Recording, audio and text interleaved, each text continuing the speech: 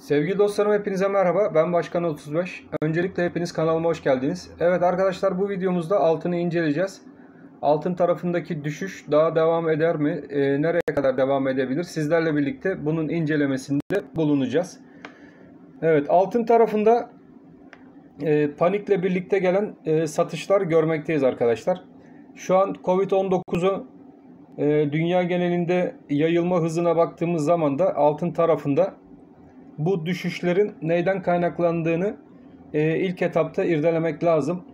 E, bu düşüşler arkadaşlar kodomanların yani büyük yatırımcıların e, offshore hesaplarının deşifre olmasından kaynaklı e, kaynaklı e, borsalara yansıyan düşüşten dolayı arkadaşlar altın hesaplarında bulunan paraların nakite çevrilip borsa hesaplarına aktarılmasından kaynaklı bir panik düşüşü olduğunu görmekteyiz.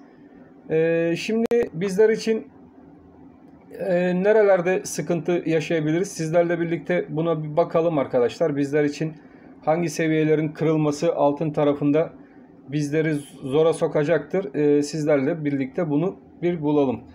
Öncelikle arkadaşlar e, Elliot teorim, teorimize göre e, bu dalga boyu düşüşünün e, şuradan geçen e, 1886 kısadaki 1886 seviyesinde e, bitmiş e, olabileceğini düşünebiliriz. Yani 1886 altında günlük kapanış görmediğimiz müddetçe e, buradaki yükselişin 1916 seviyesi ve 1933 seviyesine doğru e, yukarı yönlü hareketleri takibimizde olması gereken önemli hareketler. Burada bizler için önemli olan e, bu dalga boyunun 1886 seviyesi altına inip inmeyeceğini takip edeceğiz. 1886 altına bir iniş gerçekleşmezse eğer arkadaşlar altında tekrardan yukarı yönlü 1916 ve 1933'lü seviyelere doğru ons tarafında e, yukarı yönlü bir ivme e, o zaman bekleyebiliriz. E, şimdi bu kısadaki beklenti olan ivme yerlerimiz. Bir de e, daha orta bazlı seviyelerden bir bakalım. Evet daha orta bazlı baktığımız zaman da arkadaşlar e, bizler için haftalıkta önemli olan e, destek seviyesini e, sizlerle birlikte inceleyelim. Haftalıkta da gene arkadaşlar bizler için e, 1896 seviyesi. Şuradan geçen 1896 seviyesi önemli. Şu desteğimizi hemen belirleyelim. Yani 1896-1880 seviyeleri e, üzerindeki hareketler e, bizler için panik yapmamız gerektiğini, daha şu an için panik yapmamamız gerektiğini bizlere söylemekte. Bu 1880 ve 1896 üzerinde kaldıkça da yukarı yönlü dediğim gibi arkadaşlar 1916, 1933 ve 1963 seviyeleri hala ons altında takipte kalmamız gereken önemli seviyeler şeklinde düşünebiliriz. O yüzden e, buradaki seviyeler bizler için önemli olacak kriterdeki seviyelerdir. Haftalıkta da dediğim gibi gene 1896 altına inilmedikçe onstaki hareketlerin bir panik satışı e, olabileceği unutulmamalı, unutulmamalı diye düşünmekteyim. E, altında ne zaman panik yapmalıyız? Altında 1896 evet 1880 altına sarkmalar ve günlük kapanışlar görürsek bu sefer altında e, panik yapmaya başlayabiliriz arkadaşlar. Çünkü bu düşüş bu sefer haftalığa yansır. Haftalıkta bir 1896 altında gelecek kapanış e, bizi 1700 ilk etapta 1816 seviyesine kadar geri çekebilir. Yani aşağıda 1816 seviyesine kadar geri çekebilir. Fakat 1880 e, 1896 seviyesi üzerinde kaldıkça ons tarafında dikkatli olmakta ve malı kaptırmamakta fayda var diye düşünmekteyim. Gram altın tarafına da bakalım hemen. Gram altında bizler için önemli olacak seviyeler hangi seviyelerde bunları hemen sizlerle bulmaya çalışalım. Evet gram altında da gene arkadaşlar dolar bazlı yukarı yönlü hareketler yaşanmakta. Ee, ons tarafına nazaran gram altın tarafında dolar kaynaklı yukarı yönlü hareketler e, daha ılımlı gerçekleşti arkadaşlar. Düşüşleri yani e, daha ılımlı gerçekleşti. Dolarda da şey gram altında da gene e, 472 seviyesi bizler için bu hafta önemli arkadaşlar. 472 seviyesi üzerinde tutunduğumuz ve üstüne atabildiğimiz zaman gram altında yukarı yönlü hareketler tekrardan e, yukarı yönlü ivmelenebilir. O yüzden 472-469 seviyesi gram altında da dikkatle takip etmemiz gereken yükselişin devamı için e, kapanışları gram altında takipte kalacağız. Gram altında e, aşağı yönlü hareketler bizler için panik yapmamız gerekecek hareketler hangi seviyelerde başlar? Evet 469 altında e, gram altın gene olumsuz olur arkadaşlar. O yüzden şuradaki 469 ilk etapta gram altında takip edeceğimiz bir seviye. E, buradaki geri çekilmelerde aşağıda 464 seviyesi gram altında bizler için önemli olan bir seviye. E, bu seviyenin aşağı yönlü kırılmaması şart. O yüzden 464 seviyesi e, gram altında ilk takipte kalacağımız önemli bir seviye.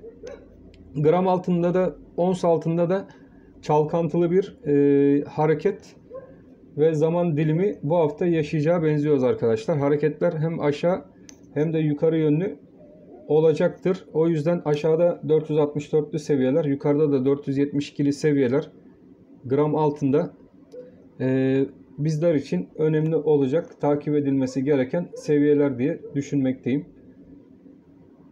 Ons tarafında bir toparlanma görebilirsek arkadaşlar dolar tarafındaki e, yüksek fiyatlamayla birlikte gram altın tarafı da daha hızlı toparlanabilir ve kendini tekrardan e, 480'li seviyelere doğru e, tekrar yukarı yönlü atabilir. O yüzden e, gram altında ve ons tarafında panik yapmaya e, çok fazla gerek yok. E, DAX'ın hareketleri de şu an kuvvetli. Bu da dolar tarafına yansımakta. Bunun yansımasını da dolarda zaten görüyoruz. Dolar TL kurunda yukarı yönlü hareketler e, gene 463 direnci yukarı yönlü olduğu müddetçe arkadaşlar e, dolar TL kuru da 7.63 e, seviyesi üzerinde kaldığı müddetçe de o da yukarıda 7.69'a doğru hareketlerini devam ettirecektir. Bu da gram altını e, diri tutmaya hala devam edecektir diye düşünmekteyiz. Altın tarafında verdiğim rakamlara dikkat edin. Gram tarafında özellikle 464, e, ons tarafında da bizler için 1896 ve 1880 seviyeleri aşağı yönlü kırılmadığı müddetçe e, düşüş dalga boyumuz buralarda bitmiş olabilir arkadaşlar. E, o yüzden e, bu seviyeler kırılmadığı müddetçe e, panik yapmaya, yatırım tavsiyesi olmama koşuluyla panik yapmaya gerek yok. E, tabi buralar kırılırsa arkadaşlar hiçbir şey tabi %100 emin ol, olacağız diye bir şey yok. Kırılırsa da aşağıda tekrardan 1860 ve 1816 seviyesine doğru ons altında geri çekilmelerde yaşanabilir. E, dikkatli olmamız gereken bir haftadayız.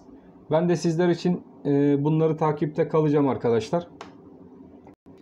Evet gram altında da söylemek istediklerimiz bu kadar. Dolar tarafına da bakalım. Dolar tarafında bizler için önemli olan seviyeler hangi seviyelerde bunları bulmaya çalışalım. Evet saat e, itibariyle de arkadaşlar dolarda yukarı yönlü hareketler hala devam etmekte. Dolarda vermiş olduğumuz 7.63 e, seviyesi kırıldı. 7.69 direnci şu an için dolar TL kurunda e, beklememiz gereken en yakın direnç olarak gözükmekte. Evet şu an biz 7.69'a odaklanabiliriz. Şuradaki 7.69 direnci. Bu direnci yukarı doğru kırabilirsek de e, dolar TL'de ana hedef 7.80 bölgesine doğru dolar TL'de yukarı yönlü hareketler devam eder arkadaşlar. Dolar TL'de artık bizler için en önemli destek bölgesi 7.52 destek bölgesi e, haline geldi arkadaşlar. Bu 7.52 seviyesi üzerinde kaldıkça dolar TL kuru hala güçlü olacak ve yukarıda 7.69-7.80 seviyesine doğru e, DAX'ın da etkisiyle devam etmesi muhtemel beklentilerimiz arasında. 7.52'nin aşağı yönlü kırılmasıyla kırılabilirse eğer arkadaşlar 7.52 seviyesi aşağı yönlü e, kırılabilirse de e, aşağıda onun altında e, gene 7.48 yakın vadedeki 7.48 7.48 altında da önemli bir destek yeri e, 7.44 seviyesi gözükmekte. 7.52 doları takip eden arkadaşlar için önemli. 7.52 üzerinde kaldıkça dolar TL kuru e, arkadaşlar yukarı yönlü hareketlerini dünyadaki koronavirüs etkileri ve artışlarından dolayı da ekonomilerdeki e, hareketliliğin artması ve bozulmalardan dolayı kaynaklanan e, yapısal ve parasal ihtiyaçlara göre kişilerin de e, daha sağlam şu an itibariyle daha sağlam bir kale olarak gördükleri e, dolar tarafına geçişleri hala hızını sürdürmekte. Evet dolar ve altın tarafında söylemek istediklerimiz bugünlük bu kadar. E, gelişen e, fiyat hareketliliklerine göre tekrardan bizler de takipteyiz. E, seviyeleri takip edeceğiz. Yeni videolar yapar hazırlarız arkadaşlar. Hep birlikte buradan takip ederiz. Ben hepinizi çok seviyorum. Hepiniz Allah'a emanet olun. Kanal hareketlerinde kalmayı unutmayın. Ee, özellikle kar hareketlerinizi kanal hareketlerinin e, üst bölgelerine göre ayarlarsanız e, yukarı çıkışlarda tekrardan e, kar al ve kar kapat şeklinde pozisyonlarınızı devam ettirebilirseniz aşağı yönlü e, ani haber akışlarından da fazla etkilenmemiş e, olursunuz arkadaşlar. Bu da kısa bir tavsiye olsun. Yatırım tavsiyesi değil tabii kesinlikle. Evet hepiniz Allah'a emanet olun. Hoşçakalın arkadaşlar.